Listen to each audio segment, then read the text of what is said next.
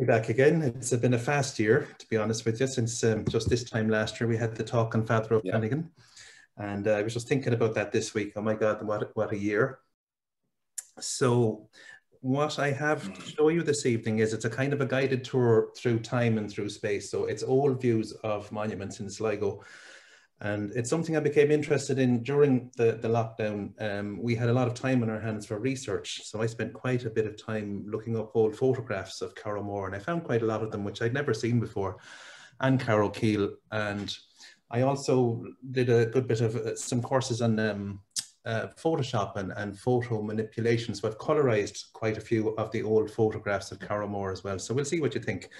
So I have you anyway, I have about 50 or 55 photographs and I won't spend too long on each one, but it's a kind of a guided tour, I suppose, through time and space, you could say, really. So is everybody ready to go? Seat belts on and whatever. So can you all see the first photograph there, which is of Dolmen number seven at Carrowmore. And that is the oldest picture I have to show you here this evening. Uh, that picture was, uh, that's, a, that's a copy of a painting of the Kissing Stone, as they call it in Carrowmore, Dolmen number seven. And that illustration, the original was done in 1779 by Gabriel Beranger, and his work was all copied by Austin Cooper. So this is from about 1789 or so. And it's a watercolor of the Kissing Stone at Carrowmore and um, it's a copy of a watercolor, I suppose. So the oldest, anyway, just oh, about 230 years old. That image, and you might find the Dolmen Seven. Anybody who's familiar with it actually looks a little bit strange in that picture. It's been a little bit flattened by the screen here at the moment, but I've actually gone and rephotographed most of these monuments at work, and you can actually find that view of Carrowmore um, you have to go up one of the fields. It's not it's not the normal view you would see of that monument. You know, it, it might be a bit unrecognizable, but it is actually it does actually look like that from a certain angle. So anyway, that's the first or the introductory photograph. Now you'll be seeing quite a few pictures of that monument because it is considered to be um, the best example of a monument in Carrowmore, and it certainly is the uh, the most photogenic or photographic one that's left. Now, this is another picture of the same monument. And this picture is from 100 years later. This was by Charles Elcock, and he has a date it. It's the 29th of the 7th, 29th of August, 1882. Now, Charles Elcock was um, a gentleman, he was a Quaker who was from Yorkshire originally, and he moved to Belfast and he got married in Belfast. He was an artist by trade. He made slides for microscopes or microscopic slides. And he was a member of the Belfast Archaeological Society or the Belfast Field Club. So he would have been down in Carrowmore, possibly on field trips, but he fell in love with Carrowmore and he fell in love with Sligo. And um, that's one of his watercolors that he did. And I always find this one interesting because I remember learning years ago that um, antiquarian researchers, when they draw pictures of monuments, um, they would often put a person in the picture, but they would often make the person smaller than he would be in actual life to make the monument look bigger and more imposing. So the gentleman in this picture here that's looking at number seven would be about the size of a hobbit because if, if I was standing beside that monument, my head would be up to the level of the top of the capstone. So just this gentleman here in the photograph is three and a half to four feet high, and that's to make the monument look much bigger and more imposing. Anyway, it's a fabulous um, picture of Carrowmore. It's one of my favorites that I've seen he's compressed the background very interestingly. You can see Ben Bulben there over the gentleman's head, um, but he's kind of moved the background right into the middle of the picture. And you can also see some stones over there on the left of another one of the monuments in Carrowmore. Now that is um, Charles Elcock on the left there. He was a Quaker, uh, I think he was a minister. Um, and he spent in, in the 1880s, he spent quite a bit of time in Carrowmore. The gentleman on the right here is um, William Wakeman, William Frederick Wakeman, and I have quite a few pictures of his as well. Wakeman um, was born in 1822 and he worked for the Ordnance Survey. He was a kind of a, a student of, of, George Petrie, the famous Petrie, who was the first person to map Carrowmore properly. And Wakeman was employed by the Ordnance Survey and then he made a career for himself. He was an art teacher when he was stuck for money, but um, he wrote several handbooks and archaeology books um, and quite a famous archaeological researcher. So he kind of had his own niche, I suppose, Wakeman. So Elcock, um, his, as I said, his job was he made microscopic slides. So he did these incredibly small um, detailed watercolors of ferns and spores and things like that, whereas Wakeman actually specialized in monuments. Now, this is one of the photographs I discovered they're in the National Museum of Northern Ireland. There's a huge collection of photographs by two photographers, uh, Robert Welch and William Green.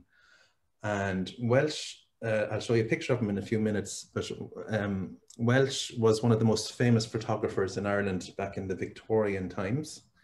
And he visited Carrowmore around 1880, 1896. And he um, left quite a decent um, selection of photographs of Carrowmore and they're very, very interesting because you can see details in them. This is one of the ones I've colorized and the colorization tends to bring out some of the extra details in the photograph. So you may be able to see just to the right of the capstone of the Kissing Stone, you can see Cruachan Mountain, which has a cairn up on the summit. So you're getting the views from Carrowmore in there. And also right over on the right-hand side of the picture, you can actually see Dolmen number four, which is the, the cromlech of the Phantom Stones as um, Elcock like to call it. And at the bottom of the picture, we have Labanafian, Kissing Stone, Cromlech, and Stone Circle, Carrowmore, County Sligo. And you have Robert Welch's initials. And the numbers that usually go by the initials are the number of the slide he took. It's nothing to do with the date, but people often see them and they think that they're looking at the dates. So there you have a nice photograph of the Kissing Stone around 1896. And you can also see the girl here. We I was doing a bit of research on her back last year and the families, because you see several people in these photographs and uh, trying to identify them. And it's a project I must get back to. So that's the Kissing Stone.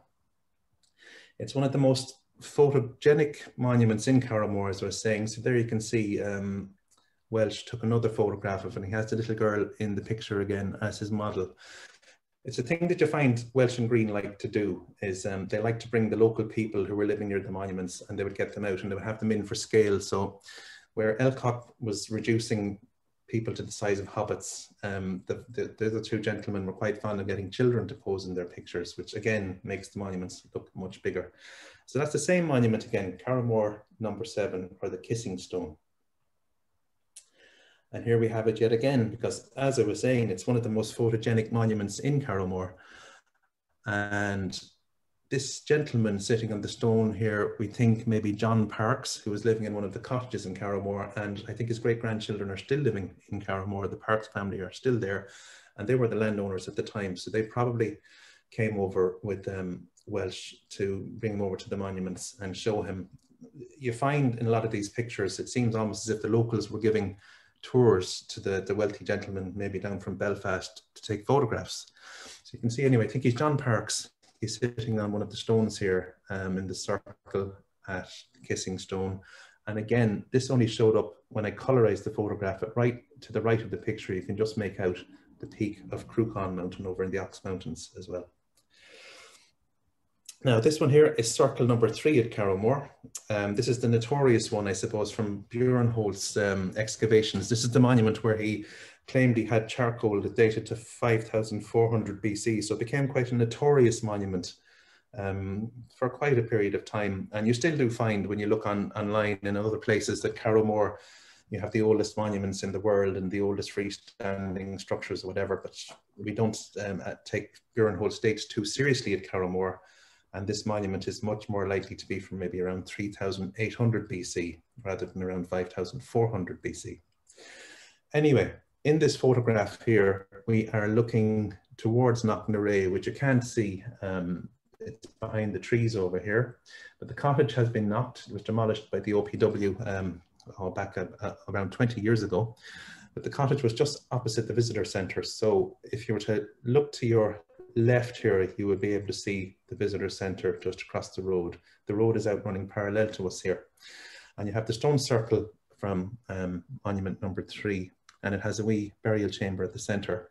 So what's so interesting about this picture is you can see the thatched cottage over here, and you can see the slated roof on the sides.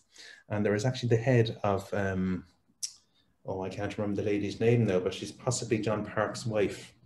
And this is a picture that's taken by Green, and we think Green was in Carrowmore around 1910. So this photograph would be taken about 14 years after the photographs that Welch took at the same monuments. So it's very interesting to see how the two of them followed each other. Um, Green was a student of Welch's. He was his apprentice at one stage. And in his journey around Ireland, when you look at their two collections of photographs, you find that Green generally went to places where Welch had been already, and he often took his photographs from the same angle as well. But that's what's so interesting about this monument here is we have the lady standing, and she's actually standing on Circle 1 in Carrowmore. So that cottage there that you can see in the photograph, the first monument, number one, is just out beside it.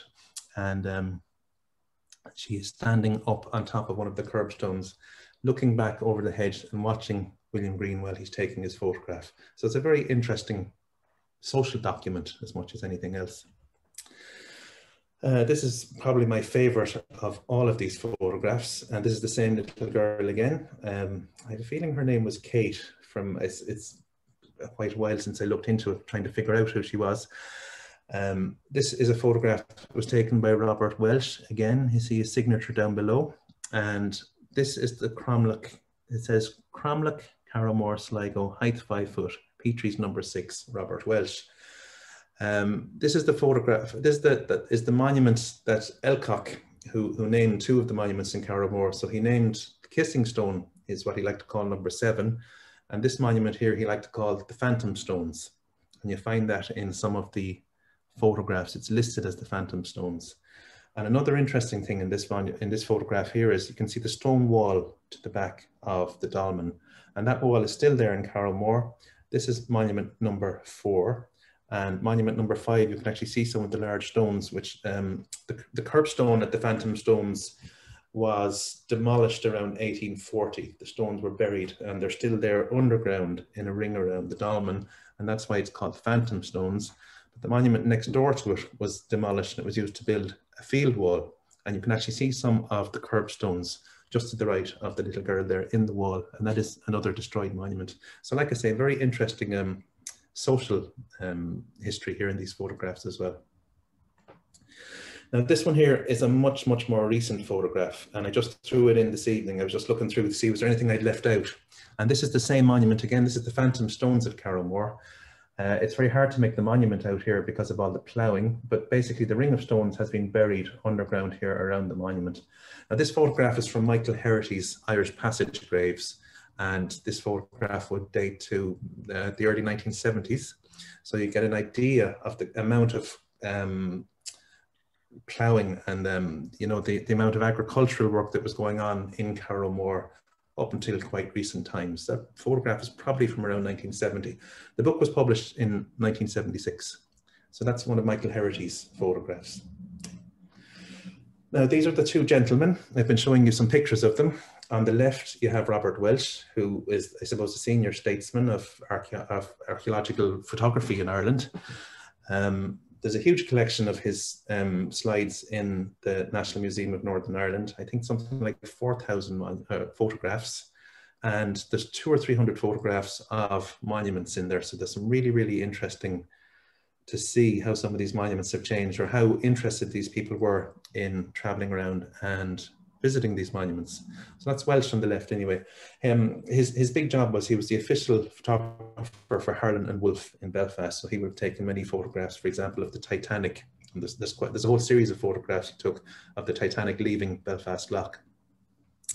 And to the right here, you have William Green, um, a few years younger than Welch. Um, couldn't really find out that much about him. This is him in one of his own photographs He's a kind of a serious looking gentleman. I do know he had some kind of a family tragedy in the 1920s. I think around 1922, his only son died, and he seems to have given up photography, I think by about 1930. But he traveled all around Ireland and he sold a lot of postcards, and he had a series of postcards called the Wagtail um, um, series, and that was a play on his initials, um, W.A. Green, William A. Green, so the Wagtail. So anyway, that's the two gentlemen whose largely, um, whose photographs you'll be seeing here. Now this is going back a little bit. This is one of William Wakeman's um, illustrations, and Wakeman was hired to do a series of uh, illustrations of monuments in Sligo around 1879 and 1880, and he did two fabulous sketchbooks full of photographs. One of them has about 35 or 40 monuments from all around Sligo, and that's what this particular image is from. And the second collection is from Inishmurray, and uh, both of those um, sketchbooks of, of, of uh, those sketchbooks of watercolors Um, they were owned by Markree Castle and they're now in the research library in Sligo. But some really, really fascinating photographs.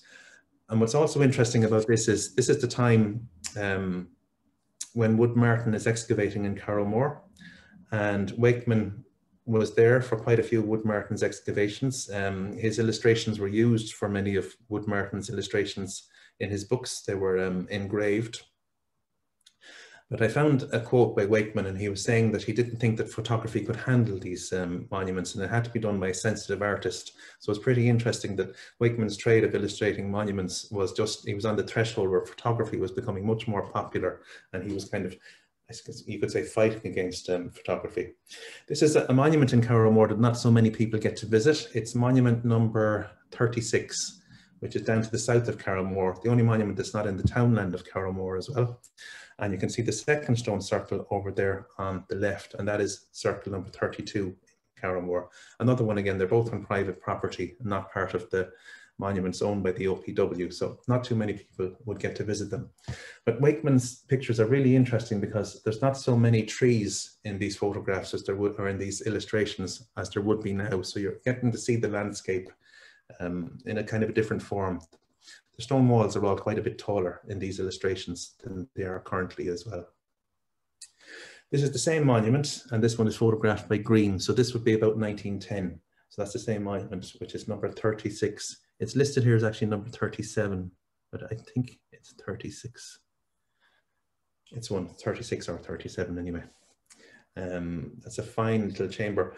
One of the interesting things looking back at these photographs is that the monuments actually seem to be quite a bit better cared for back at that time um, than they do now because I went down last year to photograph this monument which is on private land.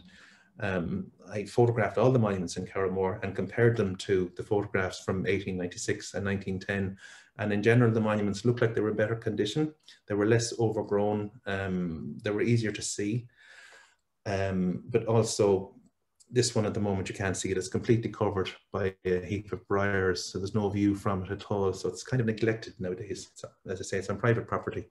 That's one of green's photographs from 1910 we're back to 1886 here or 1896 and this is uh, monument 13 at carrowmore this one is just beside the main road so it's the first monument most people see coming to carrowmore and this monument was hit by a car there was a car crash there in 1985 and the capstone was actually dislodged off the monument and it was restructured or restored somewhat by the Swedish archaeologists, but it has almost collapsed back down to the same position it was.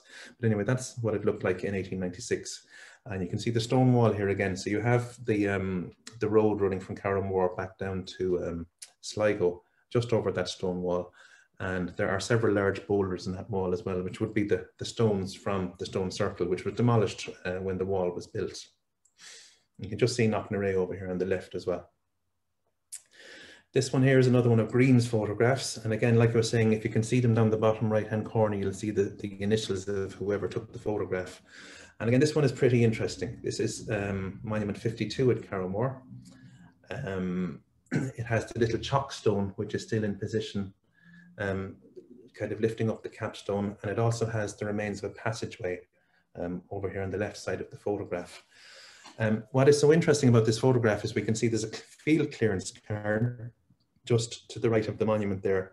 And uh, in more modern times, um, I have heard people say that that cairn was the remains of the Stone Age cairn, which was used to lift the stones up onto the monument. But it's very obvious when you look back at some of these photographs that it's a field clearance cairn and not nearly as old as the monuments.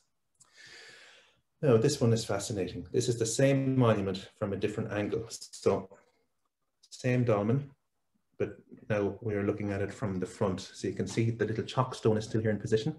And what is really fascinating to me about this monument is the ground level is quite a bit lower around it than it is today now. So that field clearance cairn that you can see there on the left-hand side that's all a grass covered mound now. But what is really interesting is this stone wall over here to the right. And when they tidied up Carrowmore back in the late 1990s and the early noughties, um, to restore the central monument, they dismantled all of the stone walls in Carrowmore. Now those walls had been built in the 1830s And some of them, Petrie was quite upset when he was um, recording Carrowmore for the first time because he saw some of the stones being smashed to build field walls. So that field wall was probably built around 1837 or 1838. But when the wall was dismantled, I think it was maybe in 2002 or 2003, they discovered the chamber of another monument just up to the right of where this young man is standing. There is um, another chamber now. You can also see Queen Maeve's cairn as well, um, up on the top of Knocknarea in the background. And that is a view that is almost gone from Carrowmore at the moment because there are a lot of sycamore trees surrounding a house just over the hill there. So during the summer, when we're giving guided tours from that monument, you, you can see it for the first couple of months, but when the leaves come on the trees, the view to Queen Maeve's cairn up in Knocknarea disappears. So all kinds of interesting things to, to find out in these pictures. This is another one of my favorite photographs, and I have a lot of them in here. Um, this is one by Green. So again, this is from 1910, and this is Monument 53. Uh, I think we call it 54 nowadays. It's the first monument that we bring people to on the tours in Carrowmore. It's a very small, fairly damaged looking monument. And again, the, the stone circle was removed to build field walls. But what you can see here is the ploughing, the extent of the ploughing going on in the background. And I remember um, reading, I think it was in Wood Martin, he talked about how a landowner in Carrowmore complained to his landlord back in the 1840s. And he said that there were many, there were so many human remains in the ground um, that he was renting that he was afraid that his potatoes were going to taste greasy from all the human remains. So you can see the kind of ploughing that was going on here and the potatoes being planted around the monument. That's quite a photograph, I think. This here is another one of Wakeman's. So this one would date back to about 1879 and we're looking at circles 56 and 57 here. And I've always wondered about how he managed to get this perspective because he's actually looking uphill, this is at the back of the visitor centre, when the, you follow the path up the hill, you see these two stone circles, and 57 here is the largest circle remaining in Carrowmore, and it now has a large sycamore tree growing in it. And again, you can see in Wakeman's time that tree was quite small, but this view is very, very hard to get. It's almost like he must have looked from the roof of the cottage or something like that, because when you're on the ground looking at these monuments, you're way, way down below them and they're on the hill above you. So he may have been taking some kind of liberty there. These are the same two monuments, um, and this is Welch, so we're back to 1896 here. So in the foreground, you have the chamber of number 56, which is sitting on its platform, and then you have the stone circle in the background of number 57, which is the largest circle remaining in Carrowmore. And again, the colorization gives you some kind of a hint of the landscape as well, but you can see there are not so many trees as there are now in Carrowmore. So the views were substantially better, I suppose, back in those days. And you can see the three young gentlemen again here sitting on the stones.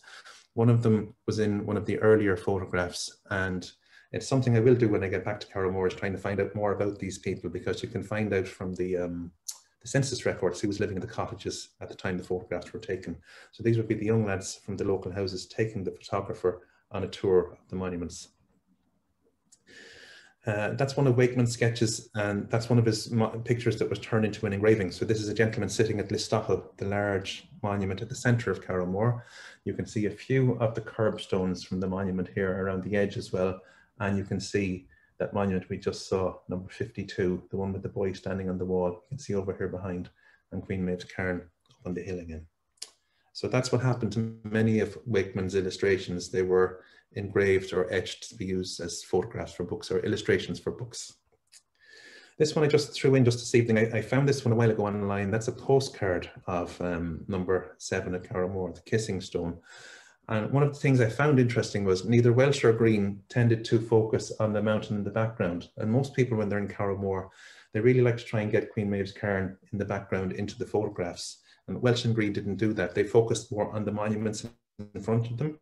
So this, I don't know what date this postcard is from, but um, possibly the 1930s, but you can see it looks like a colorized black and white photograph as well. That's the kissing stone again. Now, this is a picture of Clover Hill, and this one is by George Elcock. Um, sculpted stones, assisted Carrowmore Sligo, Clover Hill, um, August 1889. So it's on the same trip more than likely where he painted that original picture with the, the little hobbit person in it. And there are quite a few other uh, illustrations of the stones at Clover Hill um, in the National Library. I found quite a few of them researching in there last year online. So uh, Clover Hill was quite a popular monument because of the megalithic art. It was a place that people really liked to visit and it was considered really, really famous back in the Victorian times, where strangely enough nowadays it's hardly known really. Um, quite strange. But that's, um, as I say, that's Elcock again, and that's a little bit more of an expressionist kind of a picture. There's quite a difference between his style and Wakeman's. That is Green's photograph of the same monument and you can see that they probably bought the chalk with them to highlight the carvings on the rocks here as well. So you can see the carvings have been highlighted with white chalk. And again, Clover Hill is actually looking quite a bit better then than it looks now. It was cleaned, I think, maybe last year or the year before, but it had become completely overgrown and covered with briars, so quite hard to find. So they do seem to have been taken uh, better care of in the Victorian times than sometimes they would appear to be taken care of nowadays. This is another photograph by Robert Welch, possibly from um, 1896, and this is Queen Maeve's cairn up on top of Knocknarea. Now I did find researching last year in the newspapers that the Belfast Antiquarian Society or the Belfast Field Club came down on a field trip to Sligo in 1896. So Green, or sorry, Welch may have been along on that trip and um, taking these photographs at that time because they visited Carrowmore, they visited the Glen at Knocknarea, and um, some of them certainly climbed the mountain and visited Queen Maeve's cairn. So one of the smaller monuments here you can see in the foreground, you can see the large standing stone, and again, there's nearly always a person or two in these photographs, which gives a great sense of scale. So that is Welch's photograph of Queen Maeve's cairn from 1896. Now back to Wakeman again. Uh, this monument here is Heapstown Cairn down by Lough Arrow, and this is from his sketchbook again. The, the Great Cairn of Heapstown, County Sligo, drawn on the spot for Colonel Cooper, who was the colonel from um, Cooper's Hill at the time, October 26, 1878, by William F. Wakeman. Uh, one of the interesting things about this picture of Heapstown is you can see the standing stone, which used to be on the summit. It was still there at the time. There's an earlier engraving of Heapstown by Petrie as well from the 1830s, and again, he illustrated a standing stone up on top of the monument. And again, the trees had not been planted around Heapstown at the time. It's surrounded by mature sweet chestnut trees now at the moment. So um, very interesting to see its, its date in uh, 1878. And it hadn't been too badly quarried at the time either. You can see one big quarry hole on this side for sure, but it doesn't look to be in too bad condition. There's a few more of Wakeman's illustrations coming up. This is an intriguing one. Um, I'm living in Cliffoney village um, up in North Sligo. And we have quite a few monuments around us here in Cliffoney, but not too many passage graves. But this one here is the ruined cairn and circle um, near Finner Camp, 27 feet in diameter is the circle, and there's a large cairn behind. I think the cairn is about 30 or 35 meters in diameter. So this monument is completely gone now. There has been a paper written about it as far as I know but you can see the little entrance leading into it as well. But you are certainly looking at a passage grave that is more now destroyed. It's in the sandhills um, in the Finner army camp. Um, still up in the same area, this is the Giant's Grave in Bundoran. It's at Magheracar and it is a passage grave. And this monument is currently falling into the sea. Quite a bit of it is gone. Um, it was excavated, I think, in the 1970s or the 1980s, or the 90s even, by Eamon Cody, did a rescue excavation there, and a report has been published. But it's a kind of um, an undifferentiated passage grave, so it's pointing out towards um, the mountains across the bay. So that's quite a nice image anyway, as well. And that one is by Green. Uh, here's another one of Wakeman's. Um, this is Deer Park.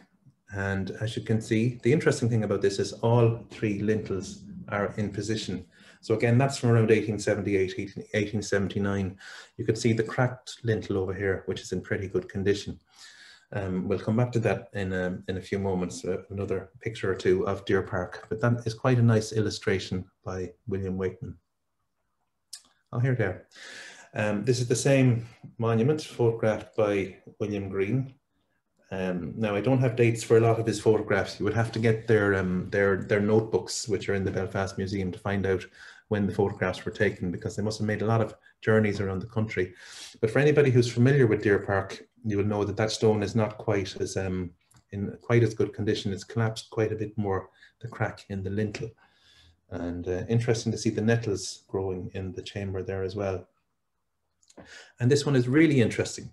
This is by Green again, and this is the trilithon in the south chamber at Deer Park.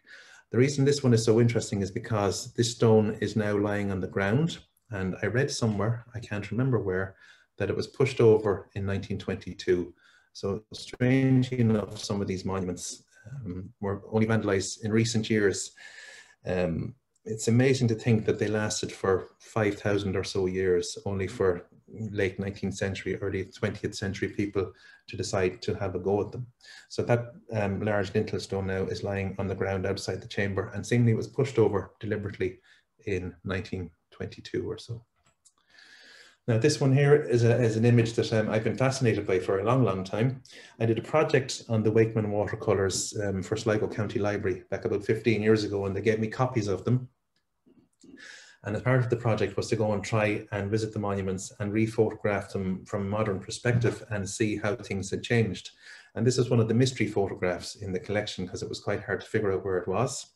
I don't know if anybody recognizes it, but it's actually Creevy Keel, which is my local monument here in Sligo. And the capstone over the doorway at Creevy um, I'm sure you're all familiar with it. Creevy Keel is a very easy site to visit. Um, the capstone at Creevy Keel was pushed over by three local brothers. I think they were Hannons, in 1895. And somebody just told me recently in Cliffoney they pushed it over as a bet to see if they could do it. So that stone had been standing for the guts of 5,000 years. and it's pushed over around 1895 for a bet. So when the American archaeologists came along in the 1930s, um, Hugh Hencken O'Neill and the Harvard um, archaeologists and excavated at Creevy the locals all told them that the capstone within living memory had been standing up over the doorway. Hencken didn't believe them and they put the capstone back flat the way it is now at the moment. So it was restored in 1935, 40 years after it was pushed over, but it was restored lying down instead of standing up. And the one thing anybody who visit, has visited Creevy Keel will know is it's a very easy place to crack your head when you're going into the chamber because that capstone is about five feet long and there's a lip on the top of it, which is actually illustrated here in Wakeman's um, drawing. And that tends to always catch people. When you're going into Creevy Keel chamber, you need to go down. Just when you think it's safe to stand up, that's when you have to duck even further down. So that is pretty fascinating to see that's Creevy um, illustrated from inside the chamber. The other interesting thing about this illustration is uh, in Wood Martin's um, Rude Stone monuments, he mixed this illustration up, or the engraver mixed it up with another monument in Cliffoney called Cartron Plank. So the monument got mislabeled. And for years and years, people have been trying to figure out how the, how, you know, this could be Cartron Plank, which is not. It's actually Creevy Keel, but it's Creevy Keel before the stone was pushed over. So that is a fascinating photograph. Now, we're on to 1911 and we're up as far as Carrowkeel. So this is um, Carrowkeel is one of the reasons I came to Sligo. I, I moved to Sligo and I, I, ended up living quite close to Carrowkeel. And when I lived, it's how I became a tour guide because nobody really knew anything about the place. And there was lots of visitors who used to come looking for information and they would often get sent to me and they'd say, go up and talk to him. He knows a fair bit about it. Um, the only information you could get about Carrowkeel at the time was Macalister's 1911 report. Well, the excavations took place in 1911 and the report uh, came out in 1912. So um, Macalister, Praeger, Armstrong and Macalister's father, Alexander Macalister, excavated there uh, on three different occasions over the summer and autumn of 1911. And on their second visit, they invited William Green to come along and take photographs. So this here is a photograph of what they call the old gate in the report. It's a large erratic stone that you pass on your way up to Carrowkeel, and it's looking across to what they were calling Gorman's Cairn, which was the old name for Cairn B. So that's the Treanscrabbagh, and that's the Lough Valley. So there's a picture of the Bowl Macalister himself. They're just after opening Cairn B, uh, which is called Gorman's Cairn at the time. And again, it's fascinating the amount of information you can find in these pictures because this was their second visit to Carrowkeel and they had a bit of trouble finding the entrance to Cairn G and Cairn K, pitching ragged lumps of limestone, as they would have said. So you can actually see in this photograph here the way the workmen have been working their way around the top of the cairn and pitching out stones. So you can see there's kind of a, a groove in the side of the cairn here until they find the entrance. And Macalister had spent time in Palestine. He had spent time opening ancient mounds and things like that. He liked to work hard and work fast. So there was a kind of almost like a vandalistic kind of a sense to it all. They were just mad to get into the monuments, but they had figured out that the monuments were generally not at ground level, the openings to them. And you can see this one here in particular in Carrowkeel, that the chamber of that cairn is about eight feet above the surrounding ground level. So it's been quite elevated. So they managed to find it um, handily enough anyway. So that's Macalister sitting on top of the, the freshly opened Gorman's cairn. And that's it just after they had opened it that's the entrance to the Great Cairn in Carrowkeel, County Sligo. Another one of Green's photographs. And again, the colorization tends to bring up a lot of details and you can see how wet the rocks are while they're here. And you can see the pickaxe handle has actually got wet marks on it as well. So it must have been raining fairly heavily while they were there as well. They do mention that um, some of the rain made the work hard uh, on their third visit. And it also looks quite muddy heading into that cairn as well. That's the monument where Robert Hensey discovered a piece of megalithic art back in 2009. Now, this is Cairn E in Carrowkeel, which is quite an unusual monument. It seems to be a mixture of a passage grave cairn. So we're looking here into the uh, into the passage grave, you could say. You're looking into the passageway and there's a cist or um, a kind of a small side chamber on each side. And this monument had been open for a long, long time when they came. The roof had been gone off it for a long time. That's another photograph from a slightly different angle of the same chamber. And again, you can see these large flags over here on the right, which are covering the small cist. And you can see in some of these photographs as well, you might be able to make out over there on the left is um, Praeger's walking stick. So he, these are posing in the photograph himself for a scale, or he leaves his walking stick in some of them for a scale as well. So there we go. That's cist in the northern end of Carney at Carrowkeel. That's Cairn H in Carrowkeel. And this is another monument has an interesting history. It was the only monument in Carrowkeel that was open in 1911. There was actually an entryway that you could see going in, but about eight feet in, they discovered one of the orthostats had leaned in and fallen in, so they couldn't get into the passage or the chamber. So they cut down through the roof, they tunneled through and um, shoved out tons and tons of stone. And for this reason, they left the monument in such a state that for, for years and years afterwards, when I moved to Carrowkeel, I was always told that this was the monument that Macalister had blown up and people considered he had bought dynamite up and blown up the monument because he left it in such shocking condition. Um, I could talk for quite a bit of time about this one, but I, I, won't go into too much detail. But I think for my own money, this monument is the focal monument or the central monument at Carrowmore.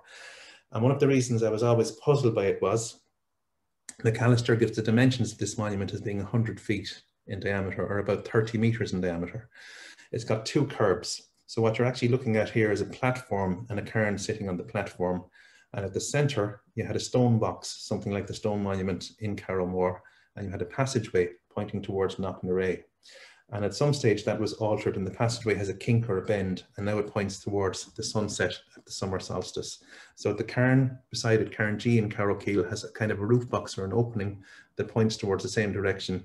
But Frank Prendergast now has said that this monument is aligned towards the summer solstice sunset. So two monuments in Carrowkeel with alignments. That is a, a plan, an elevation and a section of Cairn G um, beside Cairn H and Carrowkeel. So just an example of the kind of um, draftsmanship, uh, etc., that Macalister and Praeger did, which there really are lovely drawings. You're looking at the end of the antiquarian era here, really the last antiquarians. And when the Harvard um, archaeologists come in the 1930s, that kind of takes Ireland out of a kind of a Victorian kind of way of looking at monuments and into a much more scientific way. But these are pretty, pretty amazing um, images of Carrowkeel. And as I said, these were all you could really, if you could get your hands on them, you were doing well. But this was all the information there was about Carol Keel back in the late 1990s. That's one of the photographs of that burial chamber there. So I'm just going to go back and show you. You can see over here on the bottom right-hand corner, you can see the section of the passage and chamber and the two large orthostats and the entrance in at the back. So you're looking at the photograph of the same thing here. The interior of Cairn G in Carrowkeel in 1911. This is Cairn K, and this is another monument that Macalister and company had a bit of trouble finding the entrance to. they say they started digging up on the right of the monument up here and they started pitching stones out and they worked their way around until they found the entrance. So not as much damage as you find at Cairn G, or sorry, Cairn B, but still quite a bit of damage to that monument as well. Uh, there was lots and lots of quartz on this monument over the years, even back in the late 1990s, but it's nearly all been taken now by souvenir hunters, the same as happening at Queen Maeve's Cairn. Anyway, that's the monument. It had just been opened at the time. And that is the view looking the other way out from the, the, the chamber and through the passage. Um, you can see that there's flagstones covering the floor and you can also see sill stones, which they're, they're somewhat buried in the rubble inside the monument now. But again, quite a fascinating um, image of the interior of the monument, not long after it had been opened for the first time since the Bronze Age. Um, here are two end recesses together. The one on the left is the end recess in Cairn K and Carrowkeel and has a cracked lintel, some badly cracked lintels here, but they are much worse now and not being helped by people climbing on the monuments either. I must get a modern photograph of this and um, just check and see how much, how badly the monument has subsided since then. So you're looking at two end recesses, Cairn K on the left and Cairn G on the right. So it just gives you an idea of the kind of the structure um, the limestone kind of um, building techniques used in Carrowkeel. That's about uh, Praeger himself with his walking stick. So Praeger was the person who discovered or rediscovered the Carrowkeel monuments. He was up surveying in 1896. He was cataloguing orchids in the area. And again, 1896, a lot of things seem to be going on. That's when the Belfast Field Club came down on their tour. Uh, was a member of that field club, by the way, um, and he knew Welshton Green quite well. This here is the cist um, beside Cairn K. That's what it's Stone Cist, Carrowkeel Mountain. And you can see Cairn K just up on the top right over here. So you get a nice view of the, the kind of Victorian gentleman here. And this monument, the lid had been recently smashed. So you're looking at some kind of a stone box like Listoghil in Carrowmore. It has a movable door stone here in the front end and the orientation is towards Knocknarea and you can see the smashed pieces of the lid around it. And one of the ways you would know that this monument had not been opened too long before Praeger's visit is that the stones haven't started weathering. So that the, the, large slabs of stone around the edges here are not weathered, maybe just over 100, 120 years. So I would imagine that that box was entered maybe in the 1860s or the 1870s. Um, this is Cairn F, the largest of the cairns in Carrowkeel. And again, there's quite a bit of damage done here by Macalister and Praeger. But that's Praeger sitting up on the monument before they started digging. And you might be able to see there's a large capstone here, which gave them a bit of trouble. Um, this is the same monument again. You can see on the left-hand photograph here, the doorway or the entry into the chamber. And this door was about the size of the entryway into Newgrange. It was five, five and a half feet high uh, quite a regular doorway leading into uh, a monument with five recesses. So in many of the passage graves you find in Sligo, you'll find three recesses, recesses, one to the left, one to the right, and an end recess. You had double recesses in Cairn F. They weren't able to get in and clean out the chamber on their first visit because this large capstone, the, the, the capstone of the whole monument, was um, hanging over it. So on their next visit, they came back and they got labourers with sledgehammers to smash that capstone and um, then they tunneled down into the chamber. And the picture here on the right is a photograph taken by Macalister on the second visit. Now, one of the fascinating things about this chamber here in Cairn F is it's one of only two monuments in Ireland that has a standing stone in the chamber. The other is Cairn L up in La Loughcrew. And in this photograph here, they have um, cleared out the chamber completely. They've stacked all the loose rubble into the, the two front recesses and they have re-erected the fallen standing stone and you can see there's some timber props holding it up. And the pillar stone was about four and a half feet high, seemed to have been broken deliberately back in the Stone Age because um, cremated human remains were found spread on the stump. So some kind of an act of um, Stone Age vandalism seems to have taken place here. So this is a, a, really magnificent monument. It has a huge chamber. I think the ceiling of this chamber, they estimated was maybe 17, 18 feet above floor level, and they recognized that the stone was freestanding as well. But the intriguing thing about this is this is one of Macalister's photographs, and he took a set of photographs himself um, during these excavations, and this is the only photograph we have a copy of. And this one I found in an old archaeology book by Joseph Raftery from um, the 1950s. So absolutely fascinating, Cairn F and Carrowkeel. There is the um, Doonaveeragh Mountain. You've got Cairn O and Cairn P on the summit, and you have the plateau over here where all the hut sites are. And these hut sites were discovered and surveyed by Petrie and Macalister back at this time as well. I think they found 40 hut sites back during their original survey. It's since been resurveyed by Stefan Bergh, and I think the number is something like 153 house foundations there now. Now, I'm coming towards the end now, just a few more pictures from around the county. Um, this is one of uh, Wakeman's from his collection, and this is the Giant's Griddle over in Tana over, um, over beyond Easkey, in the Easkey River Valley, up towards the Ox Mountains. And it's one of the most beautiful of the dolmens in Sligo. And you can kind of see what Wakeman is talking about when he reckons that some of these monuments are nearly too sensitive to be photographed. I don't particularly agree with him, but he really does capture the essence of some of these monuments um, in his illustrations. So that's Giant's Griddle. In the local folklore, Finn McCool in the Fianna used it as a cooking place, uh, a griddle stone, and all the dolmens over in that area tend to be called griddles. Um, this is a photograph that's taken, I'd imagine, from up um, Maharow Grange area. But the reason I included it was because there seems to be a pre-bog forest here. You can see the stumps of lots and lots of possibly pine trees here in the middle of all the bog. So that's one of Green's photographs um, from maybe 1910, 1920. We don't have a date for them, but just a pretty interesting photograph of the landscape. Again, not many trees um, in Ireland at that time at all. Uh, this is another one I'm very fond of. This is by Welch, um, so possibly the 1890s. And this is the Culleenamore oyster middens. And again, it'd be fascinating to find out who the young lady who he got to come and pose was. The colors during the colorization process were picked randomly. So they tend to go for these kind of blues and, and, and, and dark colors, but it seems to be a school uniform. But uh, quite an interesting photograph of the middens as they were back at that stage. And just to finish off, I have a few photographs here from Inishmurray. So this is one of Wakeman's mm. illustrations at Inishmurray from 1881. And that is the altar beg, I think it's called. It's at the back of the men's church in Inishmurray. This is a picture by Green of the, um, oh, this is altar beg. Um, and you can see some of the cursing stones around it and the smaller stones. You can see Molaise's chapel in the background.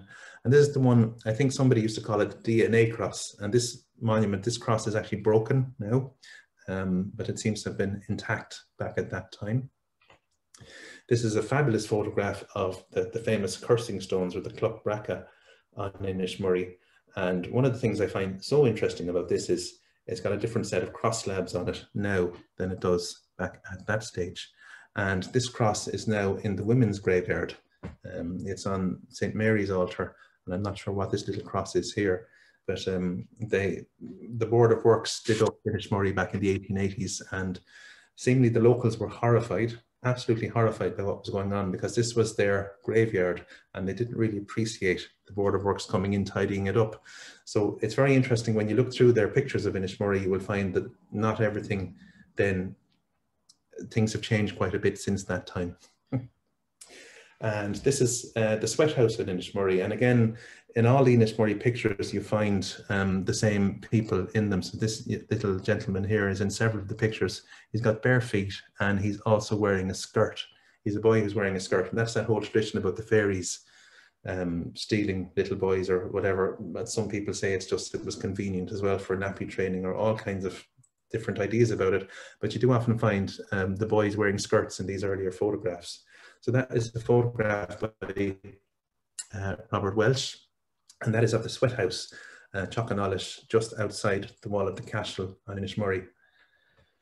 Now this one may not be so familiar to people. I'm just going to go back and just look at your little sweat house here. Look at the little, the lintel stone over the doorway and you have a kind of a stone hut over the, the sweat house. This is at Scarden, just out by the turn off to Coney Island, and there were three holy wells out at Scarden. I think St. Bridget, St. Patrick and St. Columkill. You find the same thing in Castle Baldwin. There were three holy wells in Castle Baldwin as well, St. Bridget, St. Patrick and Columkill.